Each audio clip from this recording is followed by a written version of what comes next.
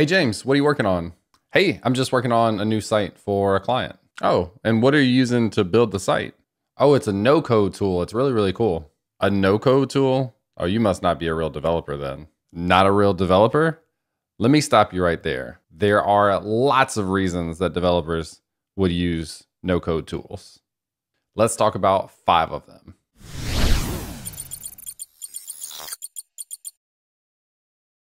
What's up, everyone? My name is James Quick, and I do weekly videos about web development related topics. And let me start by saying I am a developer, but I readily recognize the need and usefulness of no code and low code tools. And I think for anybody that's watching, we should get rid of this idea that people who use no code, low code tools are not developers. Sometimes it's just the best tool for the job. And I'll tell you five different reasons why you would want to consider or would benefit from using low code, no code tools. So, first off, what actually is low code, no code tools? Well, these are tools that allow you, developer or otherwise, to build applications, websites, mobile apps, anything really that you can imagine, to build those without having to write all the code yourself. Now, in a no code tool, you would write no code. Hopefully, that's pretty self explanatory. In a low code tool, and a lot of these tools fall into this category. In a low code tool, you can do almost everything that you would want to without having to write any code. But then they give you a bit of customization where you can write custom code if you want to. So, as a developer, it's actually really handy to work in that environment because you can use all the graphical interfaces and drag and drop stuff and click connects and that kind of stuff to do most of it and then go in and add the custom stuff that other people who are not developers who don't have experience writing code would not be able to do. So, what's an example of this? Well, a few weeks ago, I did a video on Budibase, which is a no code, low code tool for building an internal application. And it only took about 10 minutes. And I was able to save records to a database, have form and form validation, have Discord integrations, and a leaderboard showing kudos that people have received. All these things I was able to build in about 10 minutes using Budibase. You can check out that full video if you're interested for a hands on demo of how to use a no code, low code tool. But regardless, there are more and more tools available to help you do this sort of thing. Now, I am really into kind of these automated tools that help connect different things. Uh, so, example of this is Zapier, uh, IFTTT, if this then that is another example. These are a couple of ones that are, you're able to connect incoming things with outcoming things. So, if somebody tweets about a certain thing, you can save that into a Google Sheet.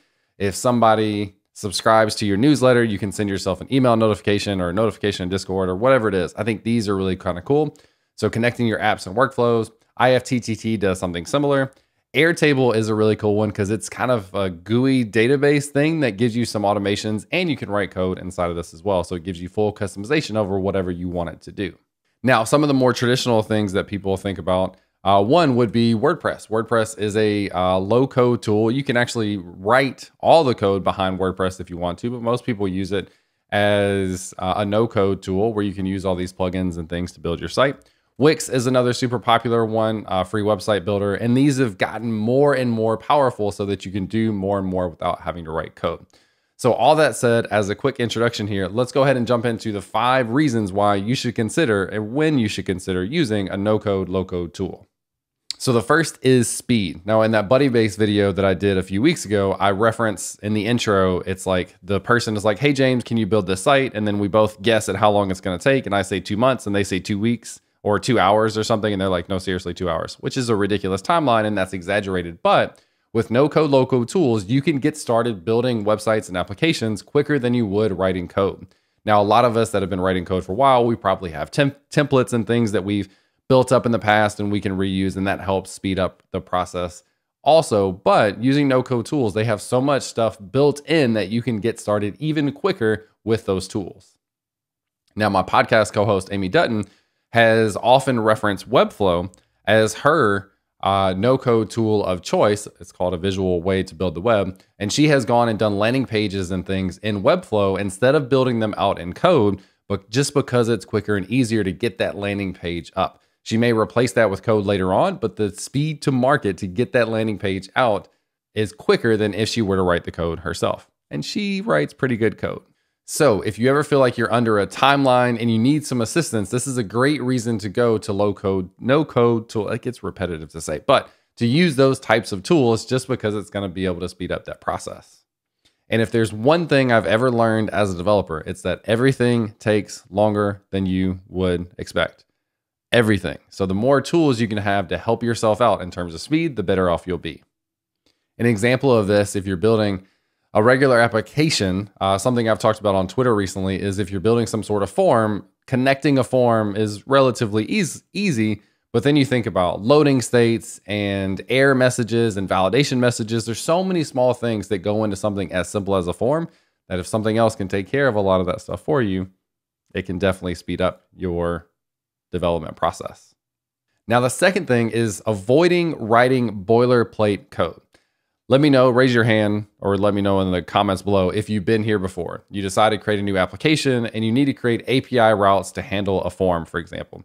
So you create the form, you create the API handler on the back end. You send the information from the form to the endpoint. You create the function that's going to take that data, save it to the database. You send a response back to the front end. The front end then redirects to a new page or shows some sort of indicator that that information was saved. There's really nothing unique about that. And it's one of the things that we see on almost every website is a form.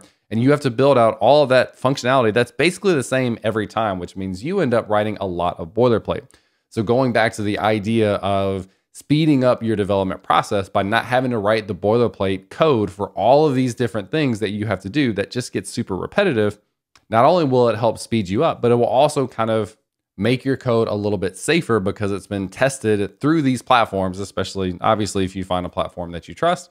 But that stuff has been written and tested and used by lots of people. So you can just run with it and not have to write all that boilerplate code yourself. Now, the next thing up is integrations. This is point number three.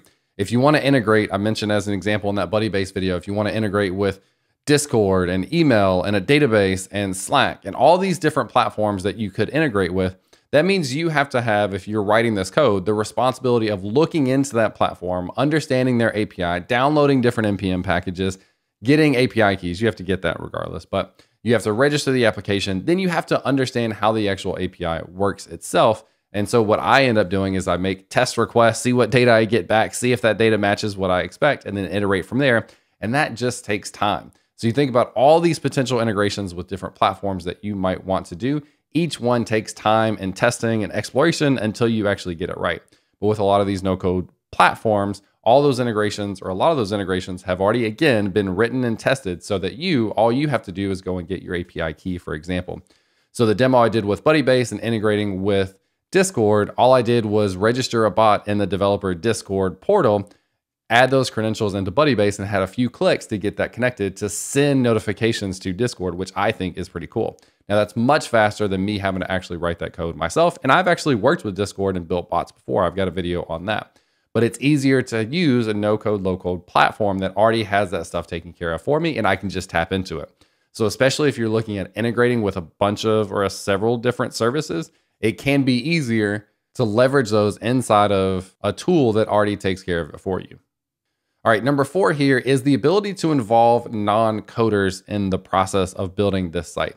Now, again, I want to get away from this idea of people who use no code, low code tools are not developers. That's not what I'm saying here. I mean, people who have not written code before, people who don't have the experience writing code, and that's totally fine. But this means with a no code, low code platform, you can get other people involved. You can get your marketing people involved. You can get you can get admins involved. You can get other people than just developers involved in building the site. Now, is there an onboarding process to all these tools to figure out how they work? Sure, yes, there is, but it's much easier to get someone started that's never written code before to use a no code, low code tool than it is for them to then have to learn how to program and learn everything that gets associated with that. So if you're looking at building a startup and you don't have programming experience yourself, this is your way to be quicker to build your landing page, your MVP, etc. And it's also cheaper because you don't have to hire a developer to do that for you. You have the ability to take complete ownership of it, build it yourself, and then have other people involved. Now, the same thing goes for me as a developer. I can be a developer, I can have really good skills, I can know how to write all the code myself, but we talked about a few benefits, why I would use it in the first place. And then I can have other people join who don't have programming experience to be able to contribute to the site too. So you have the ability to have more people involved, save time on development, but by, not having to hire developers, that which then leads to quicker speed to market and then having a product out there, if that's what you're building, that people can use and try out. Now, that's not to say that you can't then replace that with code later on. You absolutely can. But no code, low code early on is a great way to get started and get that thing out there for people to see. And the last point here is number five, which is that these tools have gotten better and better over time.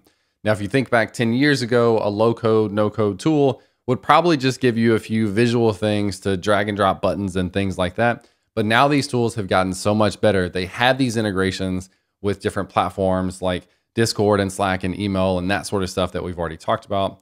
They have the ability to interact with databases. Budibase that I used in that video that I mentioned before has its own database. It can connect to your databases like MySQL or PlanetScale or Postgres or any other kind of database that you can think of.